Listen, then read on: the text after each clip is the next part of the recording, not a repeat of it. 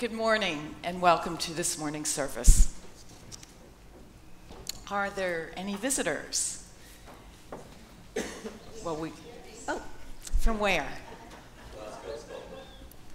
You're in the right spot. anyway, as a reminder, oh, yes, another visitor. Welcome. Um, as a reminder, coffee is going to be served. It's October, and so there will be coffee um, in the Thorburn Hall. So we welcome you all to join in. Alistair is away at Presbytery, and he's returning this week. And so um, we have David Thompson and myself leading the service this morning.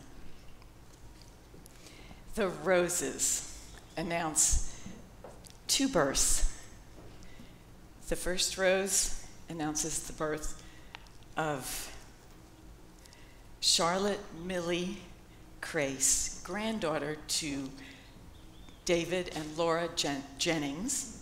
And so we celebrate with joy their happy news. And the second rose, also for the choir, um, the second rose announces the birth of Eleanor Rose Ganley, daughter of Dan and Jennifer Ganley. So we do celebrate this happy news with them all. And more happy news the celebration of Doug and Maria's um, son, Andrew, to Nicole on Friday on Grape Bay. And you'll be thankful to hear that the sun did shine by then, by 5 o'clock. so, anyway. Um, in your insert, you'll see announcement about Messy Church. Um, Fabulous Friday follows the following week. And so please include that in your plans. And I think finally David reminded me that Monday, Canadians celebrate Thanksgiving. So happy Thanksgiving um, to those that celebrate.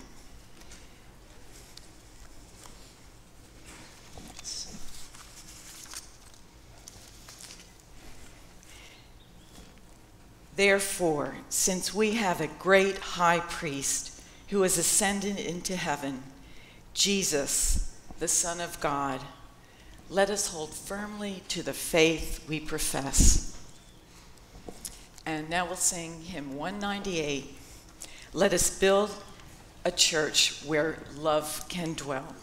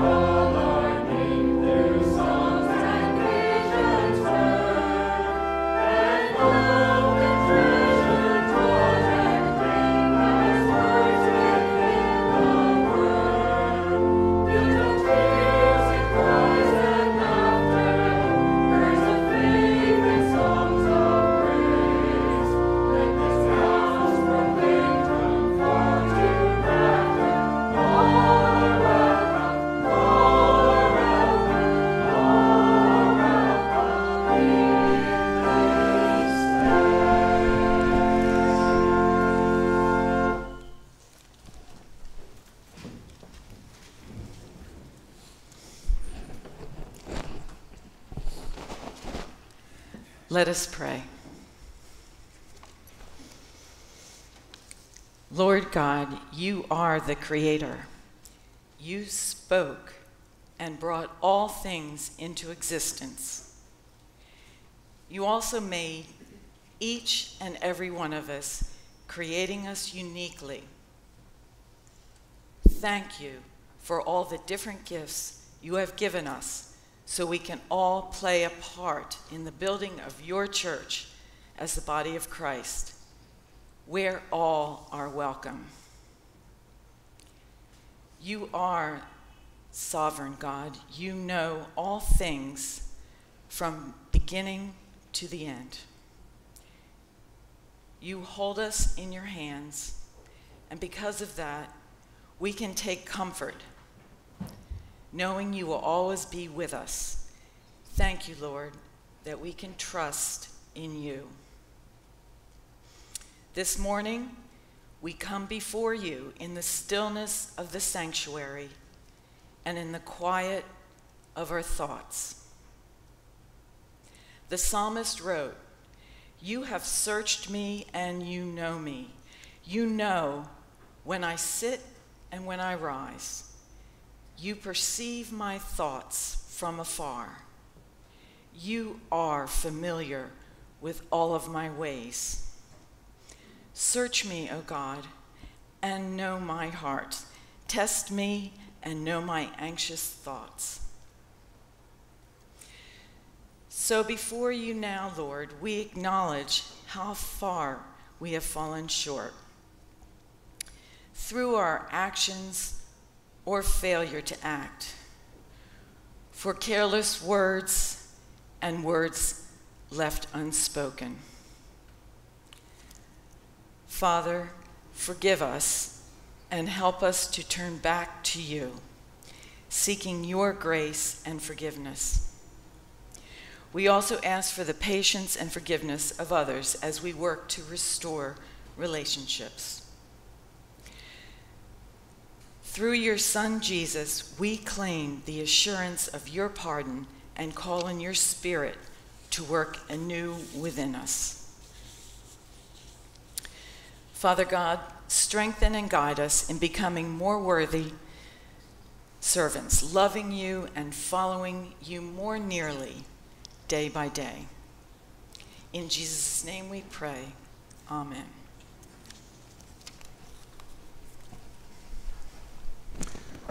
Now we have a few children here. Would they like to come up to the front? Anybody? we can talk from here. Guys, want to come up? Thanks. So, just want to mention who is Jesus. So, if I do this, what do you think that is? A heart. Absolutely. And what do you think a heart represents? Jesus. Jesus. And it represents love. And Jesus said, Love one another as I have loved you. And that's how he, how he wants to send his message to all of you, to the children, to the adults, to everybody in this church. So we're doing a little plug for next Saturday. so I hope you guys can attend. It's not only the children, it's adults, grandpas, grandmas, visitors, everybody's welcome. We provide food. It's a fun time. Bring your favorite toys, bring your coloring books, everything that you enjoy, and come and join us for Saturday. Let me have a quick blessing for the children before they go to CCY. Let us pray. Dear God, we thank you for all who have taught us that Jesus loves us and indeed loves all the children of the world. Help us to share the future generations. This is the good news. In Christ's name we pray. Amen. Okay, have fun.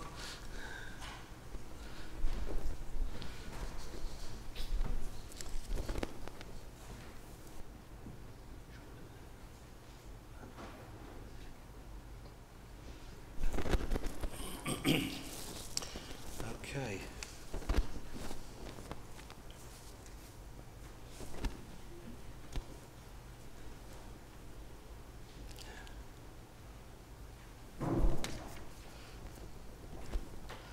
Okay, we now Sing hymn 547 What a Friend We Have in Jesus.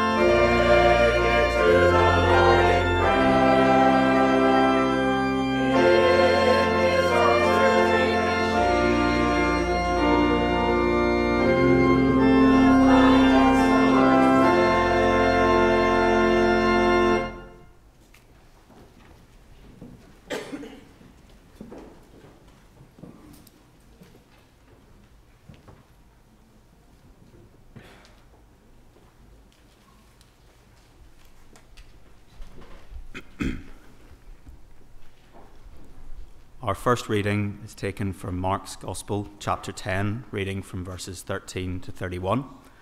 You can find it on page 46 of the New Testament section of the Bible in the pews.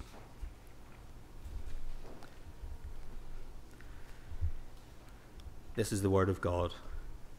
People were bringing little children to him in order that he might touch them, and the disciples spoke sternly to them.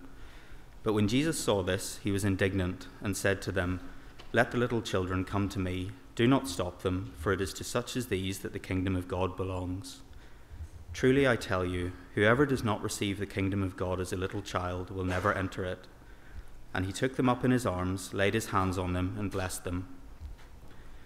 As he was setting out on a journey, a man ran up and knelt before him and asked him, Good teacher, what must I do to inherit eternal life? Jesus said to him, Why do you call me good? No one is good but God alone. You know the commandments you shall not murder, you shall not commit adultery, you shall not steal, you shall not bear false witness, you shall not defraud, honor your father and mother. He said to him, Teacher, I have kept all these since my youth. Jesus, looking at him, loved him and said, You lack one thing. Go sell what you own and give the money to the poor, and you will have treasure in heaven. Then come follow me. When he heard this, he was shocked and went away grieving, for he had many possessions. Then Jesus looked around and said to his disciples, How hard it will be for those who have wealth to enter the kingdom of God. And the disciples were perplexed at these words. But Jesus said to them again, Children, how hard it is to enter the kingdom of God. It is easier for a camel to go through the eye of a needle than for someone who is rich to enter the kingdom of God. They were greatly astounded and said to one another, Then who can be saved? Jesus looked at them and said, For mortals it is impossible, but not for God. For God, all things are possible. Peter began to say to him, Look, we have left everything and followed you. Jesus said, Truly I tell you, there is no one who has left house or brothers or sisters or mother or father or children or fields for my sake and for the sake of the good news, who will not receive a hundredfold now in this age houses, brothers and sisters, mothers and children, and fields with persecutions, and in the age to come eternal life. But many who are first will be last, and the last will be first.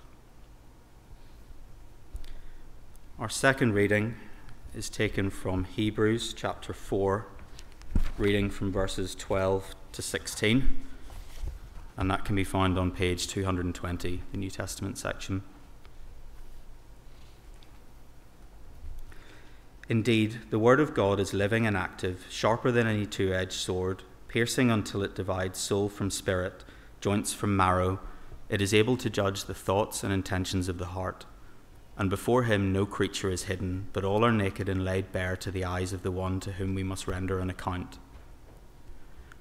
Since then, we have a great high priest who has passed through the heavens, Jesus, the Son of God. Let us hold fast to our confession.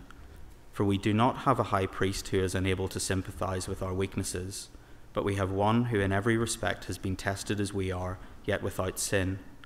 Let us therefore approach the throne of grace with boldness, so that we may receive mercy and find grace to help in time of need. Thanks be to God.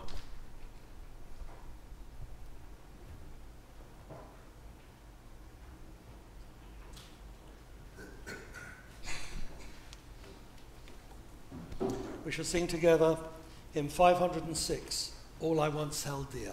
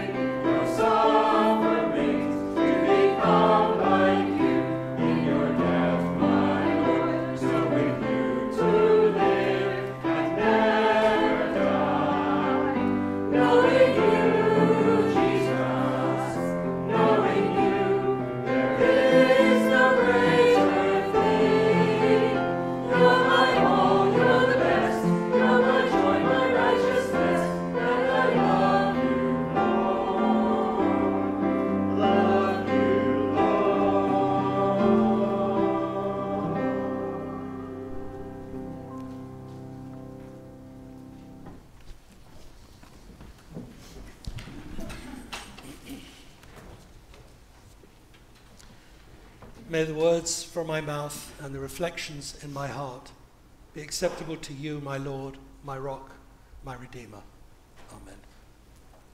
Amen. so it's been another week of major events.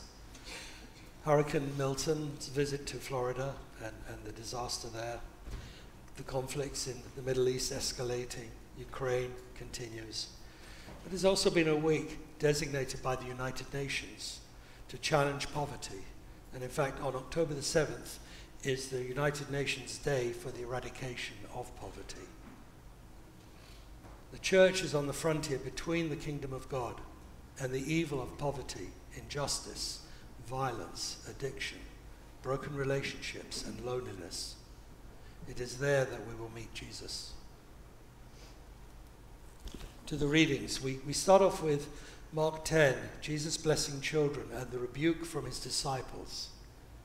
Jesus was indignant and told the disciples that everyone who enters the kingdom of God is like a child will be received. The kingdom of God receives those who are like children. Then the story continues of the wealthy young man who approaches Jesus and asks what he needs to do to inherit eternal life. Jesus answers if the man followed the Ten Commandments, which he goes on to summarize Thou shalt not steal, thou shalt not uh, love your neighbor, thou shalt love your neighbor as yourself, etc. The man replies to confirm he's followed all these commandments since a child. Jesus explains what is getting in the way of the man achieving eternal life. He goes on, he says, Sell your possessions, give the money to the poor, and you can follow me. Now, this man was very wealthy, and unfortunately, this was a price he was not willing to pay. So he turned despondent and left. Jesus knew the man better than he knew himself. He knew there was something more important than seeking eternal life, which he could not fulfill. He had, in fact, broken two of the commandments being, Love the Lord your God with all your heart, all your mind, all your soul, and all your strength. Clearly, the man was holding back. the second commandment was not to make idols, but this man made an idol of his wealth and could not bring himself to give it all away. But we must not think only about money. Jesus saw through saw right through the young man's heart, and he can see through all our hearts. In verse 21, Jesus looked at him and loved him. The second reading from Hebrews at least some Christians think of corporate worship as relatively sedate. I suspect that worship services leave most of us feeling safe. However, in a book, Teaching a Stone to Talk by Annie Dillard, she writes about the dangers of meeting God in church. She compares worship to children playing on the floor with their chemistry sets, mixing up a batch of TNT to kill a Sunday. It is madness for wear, ladies to wear straw hats and velvet to church, writes Dillard. We should all be wearing crash helmets. Ushers should issue life preservers and signal flares. They should lash us to the pews. For the sleeping God may wake someday and take offense, or the waiting God may draw us out of where we can never return. Most of us proclaim Hebrews 4 was also taught to think of reading God's word not as children playing with TNT, but as a blessing.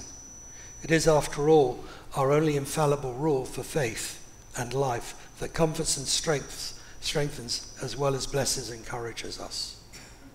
We think of reading, studying, and meditating on the scriptures as one by means by which we open ourselves to God, gently preparing us to love God above all and our neighbors as ourselves.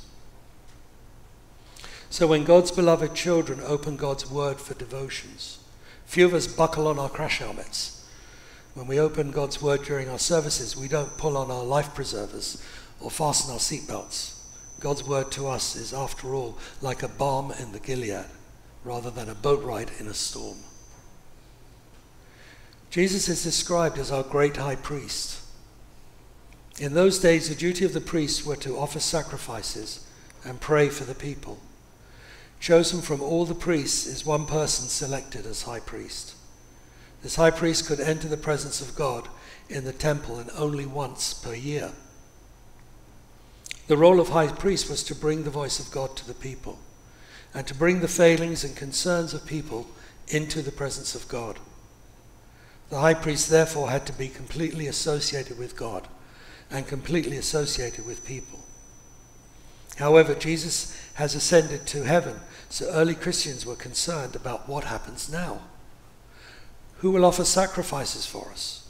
Who will take our concerns to God? The writer of Hebrews provides answers that are relevant and good news for us today. In verse 14, the author seeks to answer those concerns by giving them the good news that not only will the ascended Jesus perform the role of high priest, but he will also be a great high priest for us.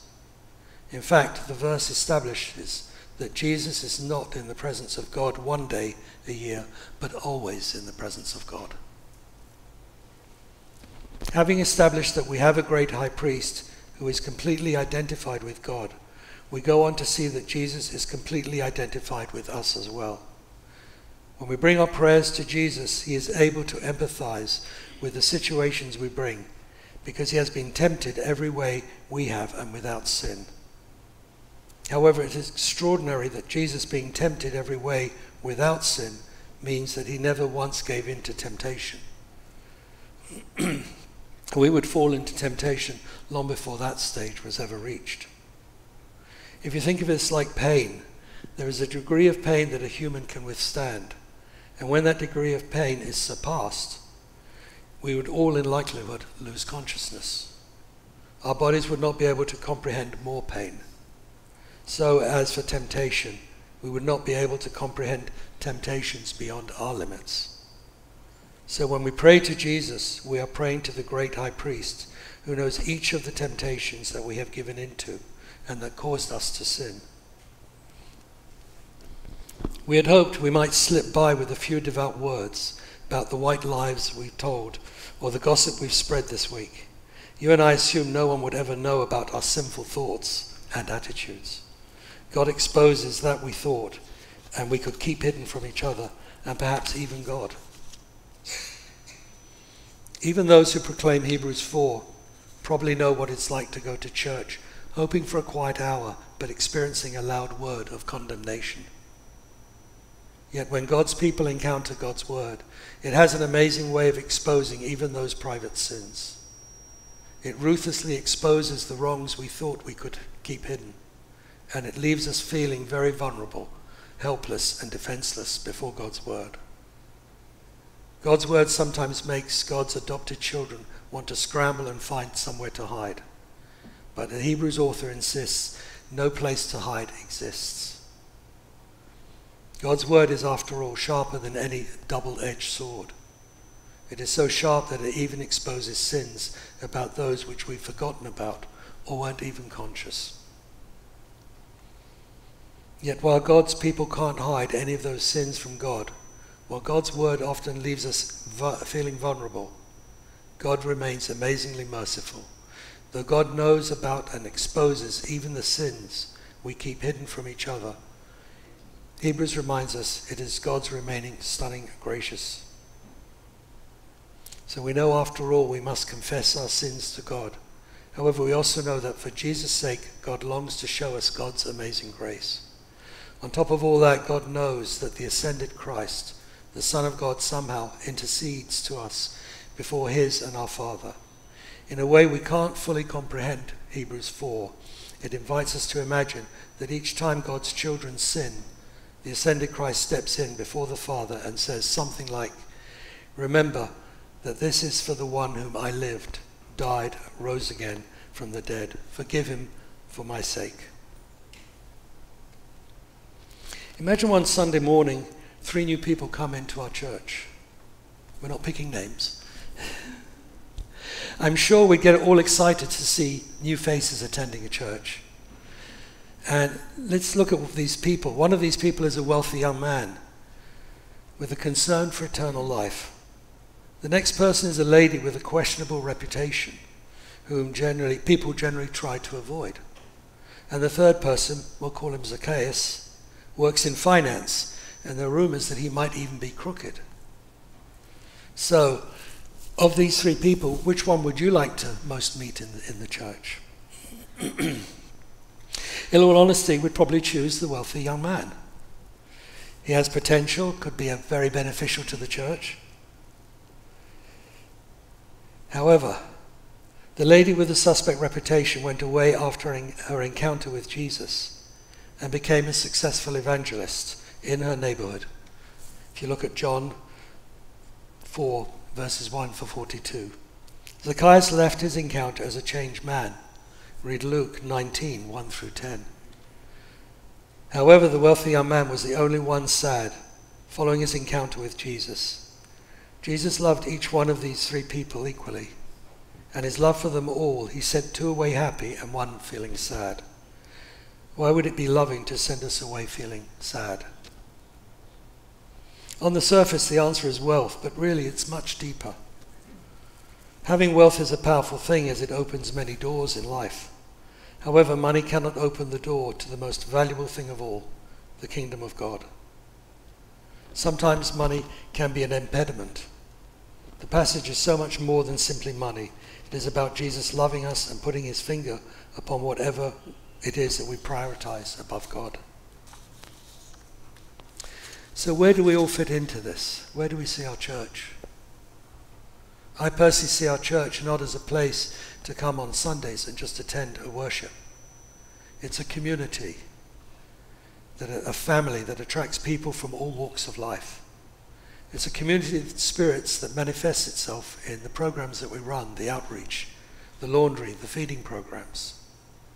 I invite all of you to come and, and bear witness on a Monday, Wednesday, Friday, or Saturday morning and see for yourself the large number of people from the community that come to our church to share what we have to offer. They receive food, laundry, shower facilities. As I said in the beginning, the church is on the frontier between the kingdom of God and the evil of poverty, injustice, violence, addiction, broken relationships, and loneliness. This is the church I want to be part of. Amen.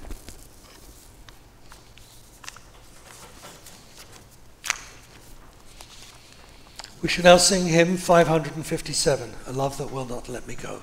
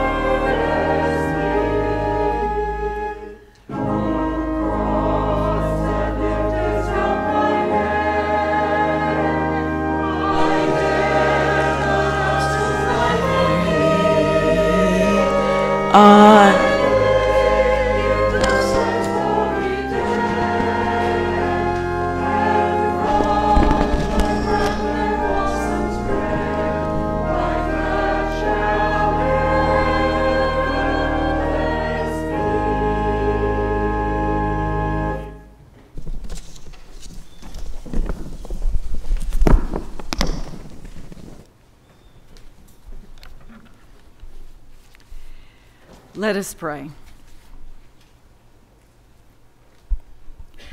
Gracious and loving God, the source of all blessings and the provider of every good thing, our hearts are full of gratitude. We lift our voices in thanksgiving for your unfailing love and faithful presence. O love that wilt not let us go. In times of trial and uncertainty, your love sustains us, and your promises give us strength and hope. Thank you for giving us your word as a guide to your truth, as well as to penetrate the depths of who we are with the power to transform us from the inside out. Above all, we give thanks for your Son, Jesus Christ, and for the unsurpassed value of knowing him. God of justice and peace, we despair that in today's society, people are not all treated equally, and that further inequities reduce the dignity of your children your love does not discriminate. We pray for the church, empower it to expand its borders to reach those in need with compassion and practical support.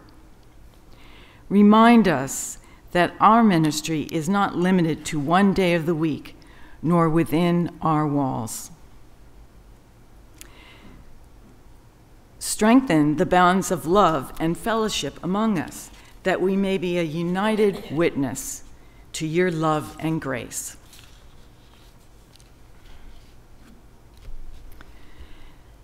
The needs and wants of the world and our community can seem overwhelming, but remind us that peace, restoring dignity, ending poverty, is the aim of your kingdom here on earth challenge each one of us to do our part as your children. We pray for leaders in government, in our community, and in the wider world. Grant them wisdom to use their power and influence to advance justice and restore peace. Before you now, we bring names of those who are heavy in our hearts this morning. We remember those who mourn a recent loss or who live in the shadow of loss. Remind them of your comforting presence. We lift up those recovering from surgery, those facing treatments or awaiting results those understandably fearful about health issues. We ask for healing and your peace. We remember in prayer those the families too and caregivers. Strengthen and sustain them.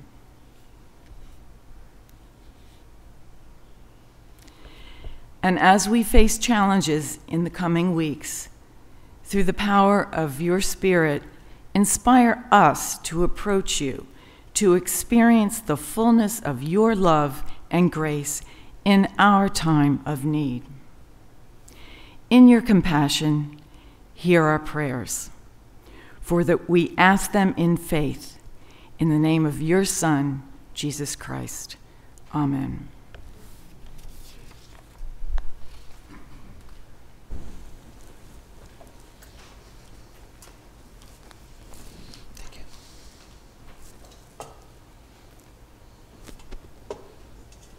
We will now receive the offering.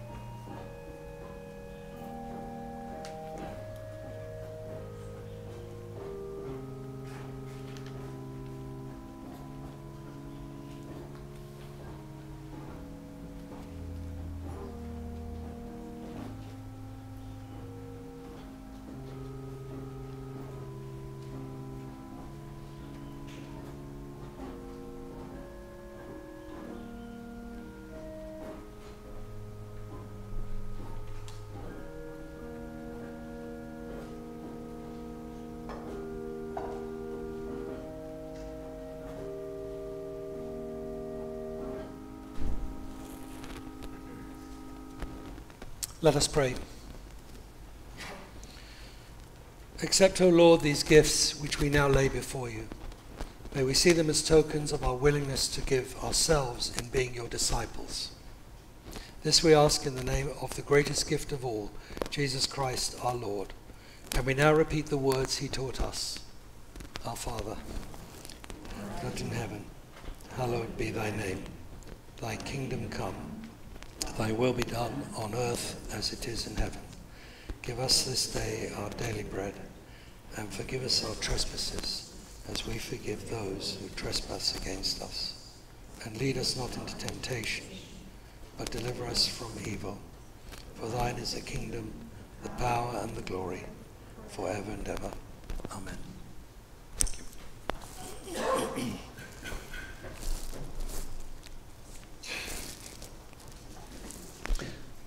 So, following the service, there'll be refreshments out the, uh, by the Thorburn Hall, and we encourage you to join us.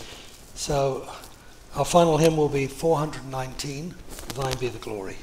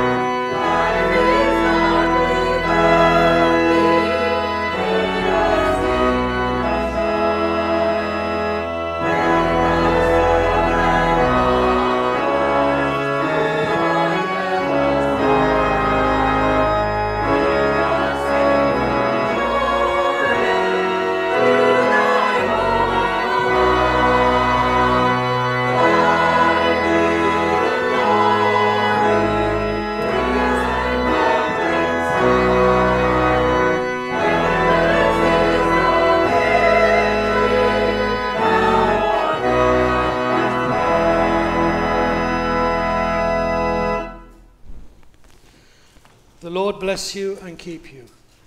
The Lord make his face to shine upon you and be gracious unto you. The Lord turn his face toward you and give you peace.